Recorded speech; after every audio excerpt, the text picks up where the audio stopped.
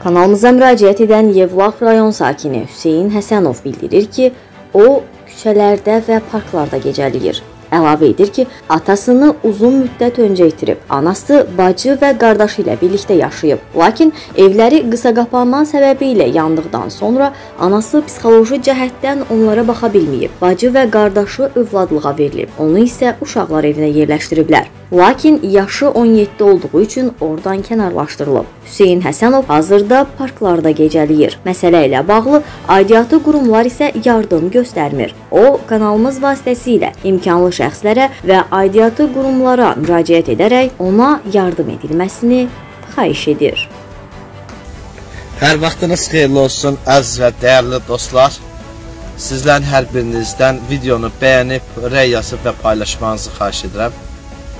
Çünki siz bunu etməklə bizim bu gənc və az yaşlı olan qardaşımızın problemini işıqlandırmış olursunuz. Gücüm heç nəyə çatır deməyin. Ən azından videonu bəyənin, rəy yazın və paylaşın. Paylaşın ki, bax bu qardaşımızın səsi eşidilsin. Deməli, bu qardaşımız Həsənov Hüseyin 17 yaşı var ona tərəf zəhmət olmasa. Atası dünyasını dəyişib, evləri qısa qapanmadan yanında anasını başı havalanıb, ruh xəstə olub, qardaş bacısı övladlığa verilib, özü isə uzun illər internatda yaşayandan sonra artıq yaşı ilə əlaqədar kiçiyə atıblar. Və uzun müddətdir ki, onu, bunu, parkları, küçələrin himayəsində qalaraq günün yaşayır. Elədir Hüseyin? Həsənov Hüseyin Mikailoğlu Gəncədə internatda olub, Yevlax şəhərində yaşayır. Düzdür, Yevlaxda bir məhlələr var, evlər yanından sonra qalmış bir e, məhlələr var. Sözə şərait yox, yaşayış yox. Yevlax rayon icra hakimiyyətinin başçısı Bakı şəhər icra başçısı Eldar Əzzovun kürəkəni isə bax bu uşağa dəstək olmur ki, icra hakimiyyətinin maddi imkanları yoxdur. Mən dünənlər yağışlı bir havada bax bu parkda yatmışdım. Suyun içindəydim. Mən qurutmuşam, mən dəyişdirmişəm, geyindirmişəm və fikirləşmişəm ki, bu mənim gücümdə olan bir məsələ deyil və e, telefon nömrəsi də deyim. Telefon nömrəsi deyim 051 378 80 051 378 80 42 Hüseynov e, Həsənov Hüseyn Mikailoğlu Yevlax rayonundandır. Peyğəmbərlərimizdən biri deyir ki, bu dünya axirətin tarlasıdır. Nə əkəcəksənsə, axirətdə biçəcəksən. Bax, biz bir qardaşımıza kömək olmanızı xahiş edirəm. Əziz və dəyərli dostlar, hər birimizin balası var. Xahiş edirəm, lütfən.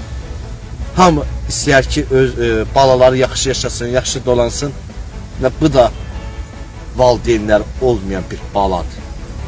Hər birimiz bu balaya, bu qardaşımıza kömək etməyinizi hər birinizdən xahiş edirəm. Hüseyin, nəsə demək istəyən? kömək eləməklərini istəyirəm. Kömək eləməklərini istəyirəm. Əziz dəyərli dostlar, sizlərin hər birinizdən bu qardaşımıza dəstək olmanızı, kömək olmanızı xahiş edirəm. Bir daha qeyd edim ki, Hüseynin Hüseyin də adın eləmi?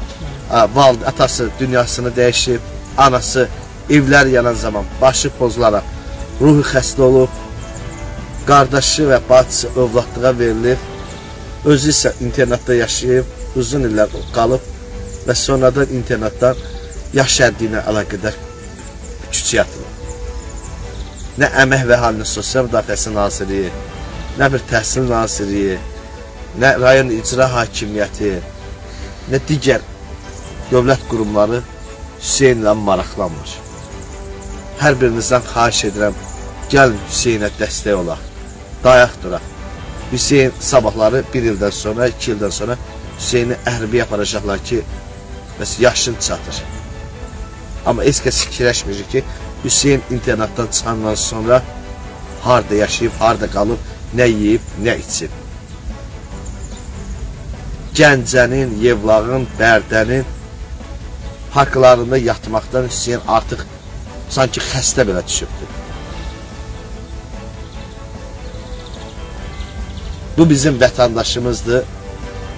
Biz də buna sahib çıxmalıyıq. Hər birinizdən xahiş edirəm. Videonu bəyənin, rəy yazın və paylaşın ki, istimaleşsin.